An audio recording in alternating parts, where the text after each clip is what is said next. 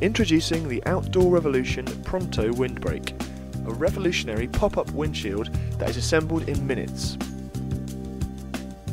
Based on the integral fiberglass frame system in our screen houses, the panel poles remain in situ when packed. Simply pop out each panel to create an impressively rigid structure almost instantly. Peg down the anchor points and finish by sliding the upright steel poles into each sleeve. Guy ropes can then be fastened along with any tweaking to the positioning. Dismantling the Pronto windbreak is just as fast by simply reversing the pitching steps.